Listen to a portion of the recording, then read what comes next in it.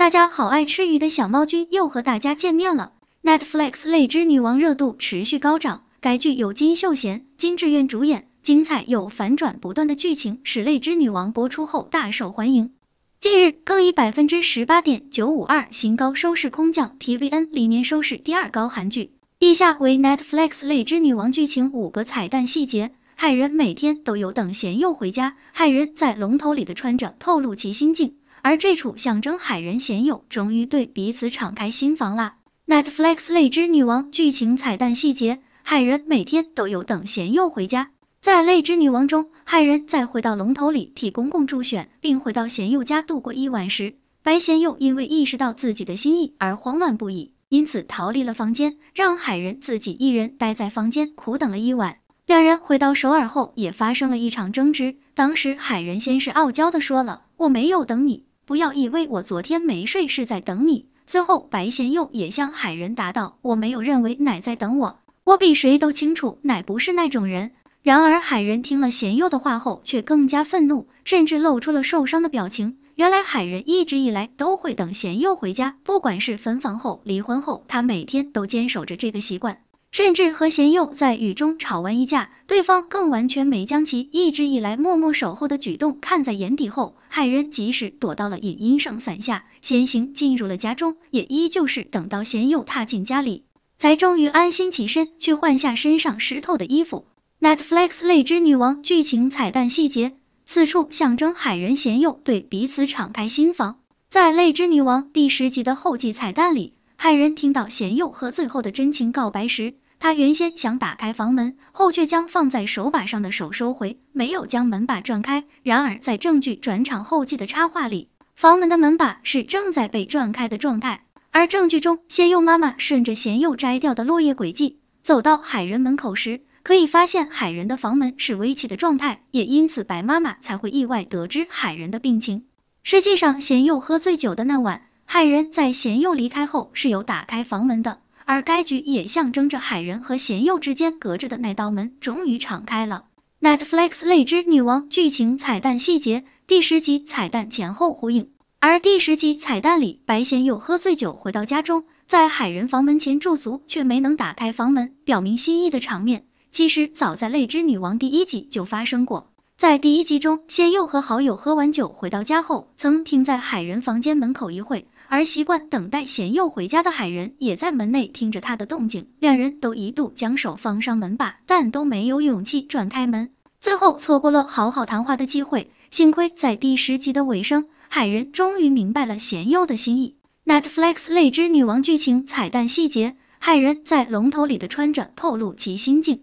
过去由 A Pink 成员尹普美饰演的罗秘书曾说过，社长红海人只要心情不好，就会穿得越华丽。如果她穿的像孔雀开屏般美丽，那就表示大家都死定了，且没有解决办法。因为天然灾害和社长的低气压都是人类无法控制的领域。然而海人来到龙头里避难后，穿着却变得很朴素淡雅，衣服也都换成针织材质，整个人的氛围都变得柔和了，似乎也意味着海人的心理状态变得很平静，心情越来越好了。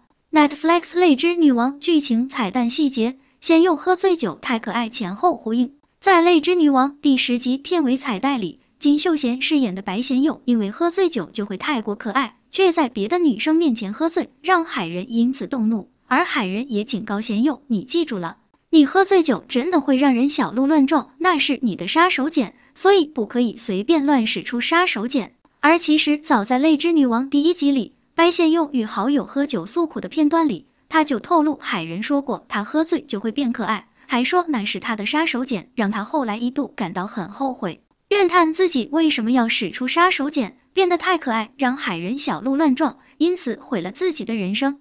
二零二四神剧《泪之女王》收视再创新高，第十集已经突破百分之十八点九五二的惊人表现，也成为 TVN 历年韩剧第二高收视韩剧。大家猜测，如果剧情没有太大意外，应该有机会打破二零一九年《爱的迫降》百分之二十一点六八三记录。你觉得呢？在剧中，金秀贤跟金智媛各种撒糖，真的让大家看得好喜欢。尤其在第十集的结尾，骇人霸气的在发布会上公开尹英胜欺负老公的恶行，让大家看得非常过瘾。不过等剧的过程，就像远距离恋爱的恋人，真的好痛苦啊！还好网络上有各种讨论，可以刷刷存在感。韩网最近以对比十年前后的金秀贤作为讨论，大家把对比照放出来，真的是会吓一跳。他真的是被岁月忽略的男人。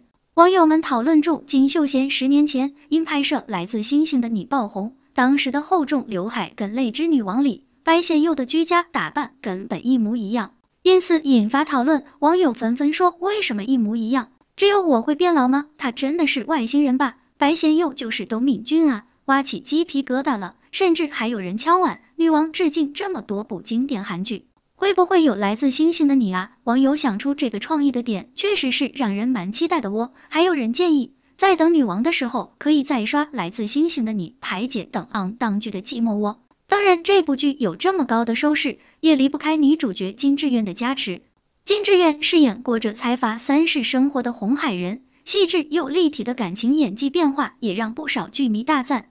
加上金智媛超美的外貌和造型，也引起剧迷们大赞。在大家的关注下，金智媛曾经出演了 YouTube 综艺节目《Salon Drip》，说道：“这部作品中有很多不同的衣服，也有需要对外展示的部分，所以进行了身材管理一年左右，努力不吃增磅的东西。”金智媛更透露自己很努力的控制饮食，一年内连中餐都没吃过，令大家大吃一惊。他更说道，连炸酱拉面都没吃过，到现在还在继续管理中，并透露了自己的苦衷，因为之后还有宣传日程，现在还要用脸。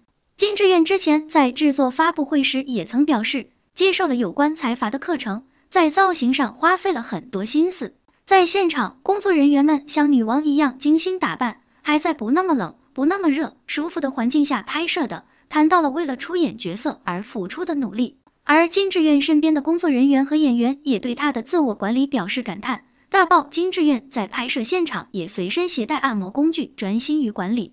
金智媛说：“我喜欢刮痧，按摩球在面上滚动的话，感觉很舒服，所以就把它带到了拍摄现场。”最近，金智媛同时抓住话题性和收视率，凭着高人气更成为了广告女王，担任了只有大师女明星才能代言的烧酒品牌广告模特。之后的活动也备受期待。而近日，金智媛的私下邻家女孩美照曝光，没想到戏外举动却反差极大。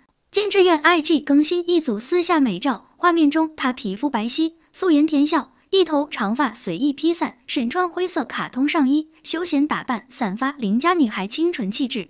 与剧中总是穿着精致套装搭配华丽饰品的高冷形象极为不同，相当亲民。反差萌照片流出后，吸引超过一百九十万网友围观暗赞，留言直夸美貌无敌，又漂亮，演技又棒的演员。事实上，金智媛凭借《泪之女王》人气直飙，过去许多穿搭造型作品等都被大家翻出，各种风格发型都能轻松驾驭，零绯闻形象更被夸赞是宝藏女演员。